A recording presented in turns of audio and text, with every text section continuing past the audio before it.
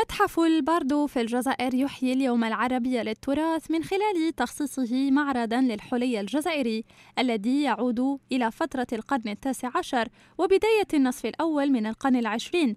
هدف تثمين التراث الجزائري المادي وإبراز الثراء الجهوي والفني الذي تزخر به مختلف المناطق الجزائرية. من خلال أيضا هذه التظاهرة يقوم متحف باردو بأحد المهام المنوطة به وهو نشر وترقية وتثمين التراث الجزائري المادي. آه، المعرض آه، يبين ولا يثري ولا من خلاله يظهر الثراء الجهوي والثراء التقني والثراء الفني للحلي الجزائرية في مختلف مناطق الوطن. إحنا ركزنا على هذه المناطق ولأنها تشترك في آه، في نمط العيش وتشترك في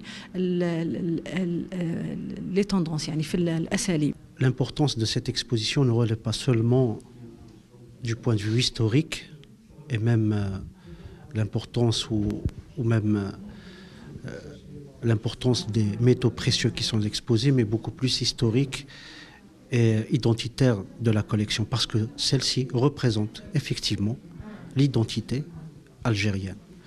L'identité algérienne de l'Est en l'Ouest, du Nord jusqu'au Sud.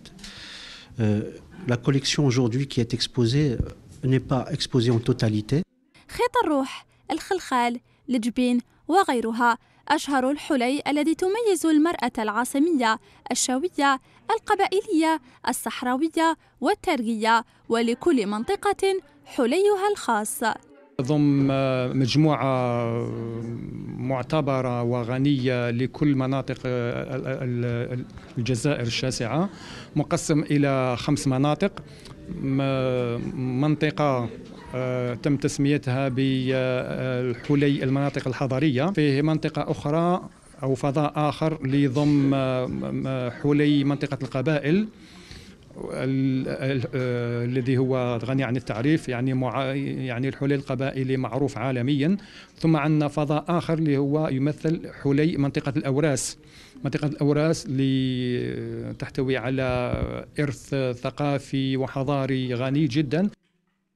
معرض ثقافي يعرض أهم المراحل التاريخية التي مرت بها المرأة الجزائرية من شرق الجزائر إلى غربها ومن الشمال إلى الجنوب بتزينها بأبهى القطع والحلي التي تميزها عن مختلف النساء والتي أصبحت اليوم قصصا وثقافة تروى للزوار.